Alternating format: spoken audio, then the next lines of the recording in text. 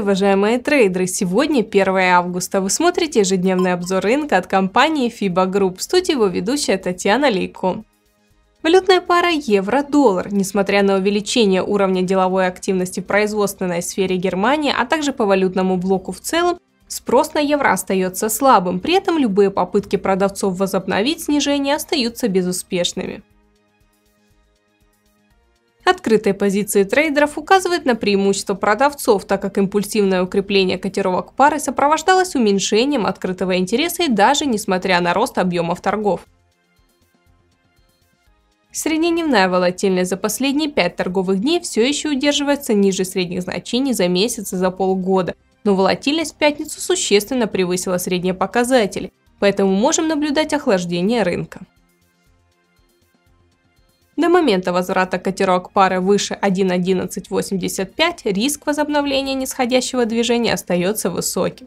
А сейчас перейдем к паре фунт-доллар. Повторная оценка индекса деловой активности в производственном секторе Британии зафиксировала неожиданное снижение, которое ослабило интерес к стерлингу, но активность продавцов все еще остается умеренной. Открытые позиции трейдеров указывают на преимущество продавцов, так как открытый интерес сократился при укреплении котировок пары, в то время как объемы торгов увеличились, что указывает на риск возобновления нисходящего движения. Среднедневная волатильность за последние 5 торговых дней удерживается ниже средних показателей за месяц и за полгода, но рассчитывать на резкое увеличение торговой активности не приходится. По-прежнему дальнейшее ослабление котировок пары все еще рассматриваю в качестве основного сценария.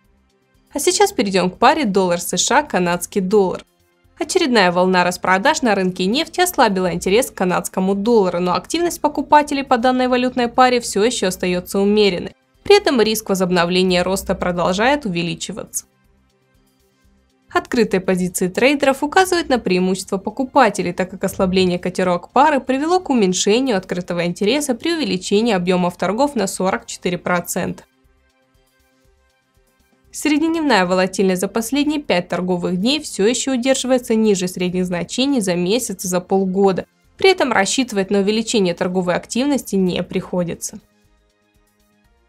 Учитывая неспособность продавцов удержаться под уровнем поддержки 1.3030, увеличился риск развития восходящего движения.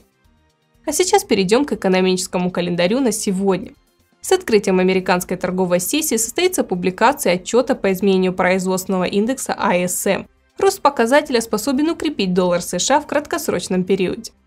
На этом у меня все. Благодарю за внимание. До встречи в следующих выпусках программы «Фокус рынка».